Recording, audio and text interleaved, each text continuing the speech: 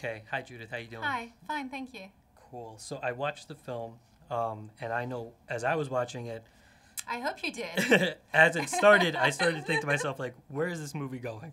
So I'm curious what your first reaction to the script was the first time you read it.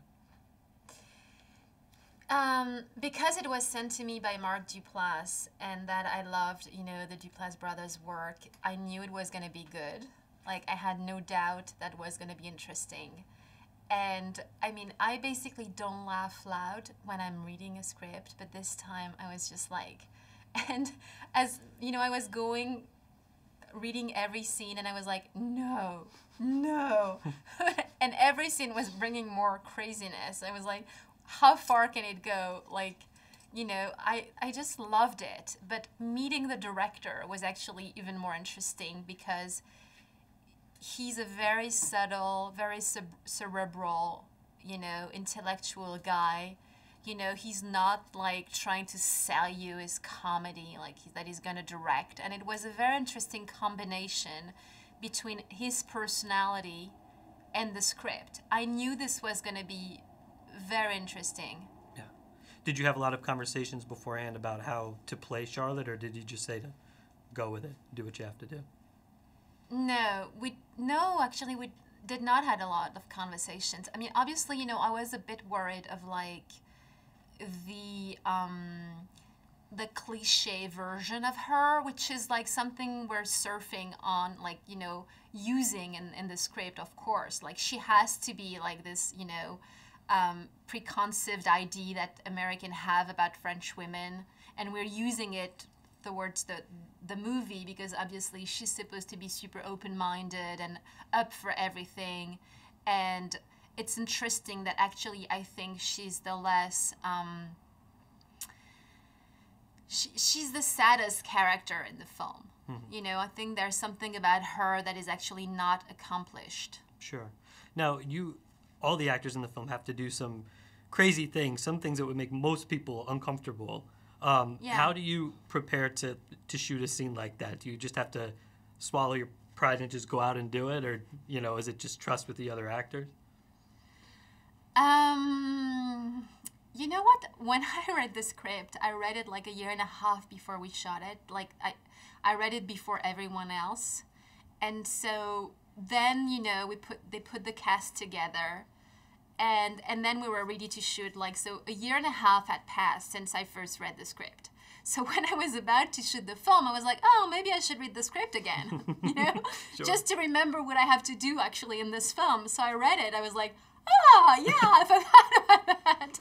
So, you know, I think that everything kind of happened very spontaneously and including like, I'm sorry, I'm just, I'm, I'm getting, I'm getting naked here. so, um, so everything happened very spontaneously, including my acting. Mm-hmm. Like, I think that to overthink the scenes that are obviously, you know, involving things that you've never done before is putting too much pressure on yourself. I just wanted to do it in a very spontaneous way and let the moment happen. We shot it in 12 days, including 11 nights. Mm-hmm. So we were in such a in a state of like almost like somnambulism. Mm-hmm. You know? Like the ambience of the film of the set was very you know, like we were like super tired and loved each other, but like there was this kind of like thing where basically when you have to do a scene where everyone kisses each other, it's like, well, you know, whatever. Yeah, sure. Quick shoots. Do you do you like quick shoots, or do you prefer to have a little bit more time to sort of create something?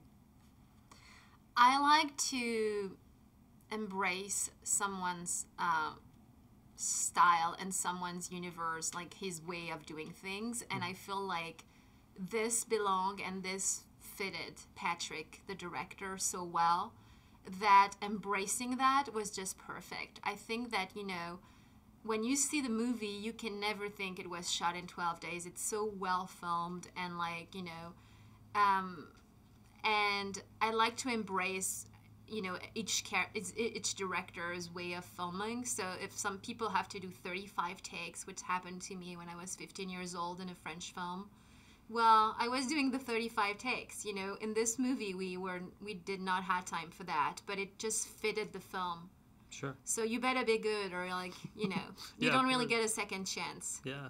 And you also you share a lot of scenes with Jason Schwartzman. Yeah. So you have to have pretty good chemistry with him and you do in the film. What's it like working with uh, with Jason?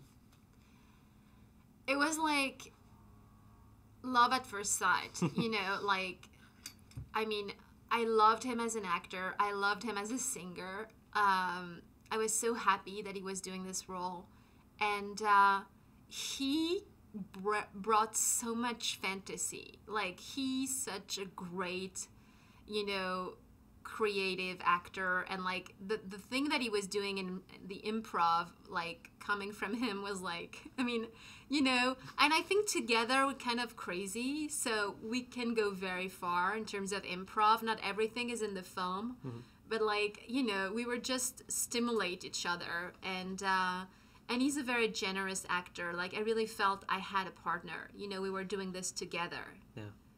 That's great. Well, Judith, thank you so much. I really Thank you. appreciate it. Ladies and gentlemen, you're watching Hey You Guys! Hey, you guys, huh? You guys. Is that yeah. from the Goonies? It is indeed, yeah. Nice. Hey, you guys!